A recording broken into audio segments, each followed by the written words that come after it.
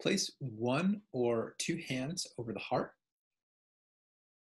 You might just feel your heartbeat to start out. And then see if you can breathe into that heart space there, taking deep breaths.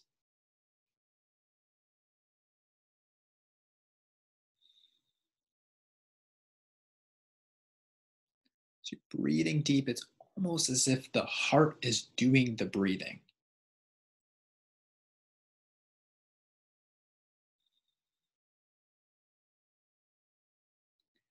You might even notice on that exhale how the heart rate slows down.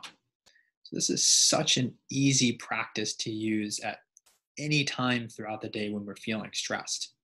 Now, some people, when they're doing this practice, like to bring a positive image to mind. So you might think of something that gives you unconditional positive regard, something that makes you happy. This could be a person, a place, or a pet.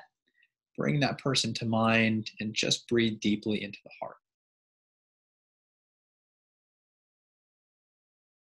Might even be something that you're grateful for.